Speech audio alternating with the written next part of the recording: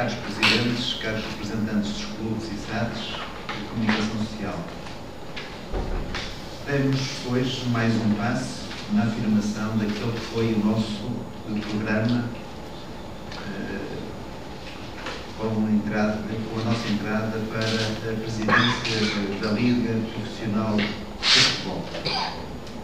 Dissemos nessa altura que um dos nossos objetivos seria cada vez mais apoiar os clubes numa perspectiva de melhoria das suas instalações ao nível da melhor prática do jogo, das melhores condições de segurança e, portanto, com a assinatura destes 18 contratos de apoio às modificações à melhoria das instalações dos clubes, estamos convictos que a nossa missão dentro daquilo que foi o nosso compromisso efetivamente está a ser cumprida.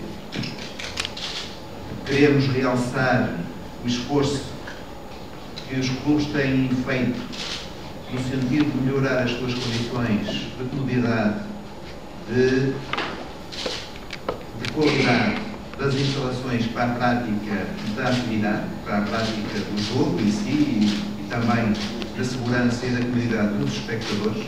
No ano passado, o sistema de incentivos atingiu um valor de 880 mil euros.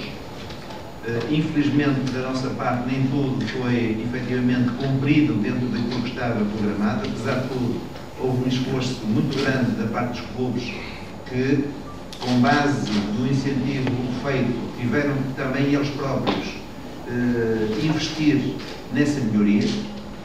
O investimento global que hoje estamos aqui a apoiar uh, situa-se ao nível dos 3 milhões e meio de euros, em que a Liga participará e ajudará e subsidiará com cerca de 1,5.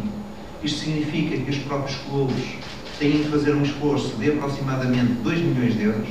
É significativo, mas também é a consciência que todos nós temos de que as nossas instalações, as nossas infraestruturas têm que melhor se adequar relativamente à melhor prática desta atividade.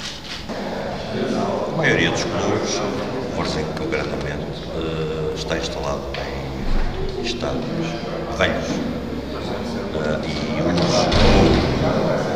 no nosso caso, substituir por novo ou ir fazer obras. A Liga Embaores para apoiar esse tipo de intervenção as exigências da, da, da, da, vistoria que a Liga faz cada vez são mais elevadas. Os clubes têm que fazer esse esforço, é verdade, mas também podemos ver outra perspectiva. Tínhamos que fazer e temos um apoio.